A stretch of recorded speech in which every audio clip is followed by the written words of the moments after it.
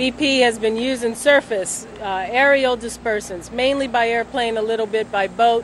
For weeks, they've been asking us about injecting dispersant at the site of the leak. We did three different tests until we figured out how to test accurately for subsea dispersant use, and they are currently using dispersant at the site of the leak, injecting it. They use a lot less when they do it down there than they do when they spray it on top.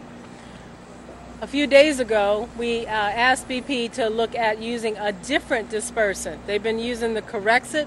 We asked them to look and get back to us and give us an alternative. I wasn't satisfied with the answer that we got. The answer we got back from, disper- from BP to me seemed more like a defense of their current choice. Reminded me a little bit of that old commercial, I'd rather fight than switch.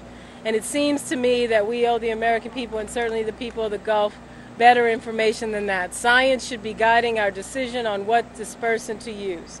Now, I want to be clear. The data that we're taking right now, including toxicity tests when we inject, do not show a problem with toxicity. We see dispersion happening. We see dissolved oxygen that looks good. But it seems to me that a month into this and with no end insight necessarily, we're planning for the worst and hoping for the best. We need to ask ourselves whether there's not a better product out there. And BP seemed to spend a lot of time saying why everything else didn't work, but they really didn't give me a feeling of comfort that they were asking honest questions. So we'll do it ourselves. We have a lab, EPA does, in Gulf Breeze, Florida, and we're going to set up a series of toxicity tests, biodegradation tests to look at what's going on out there now.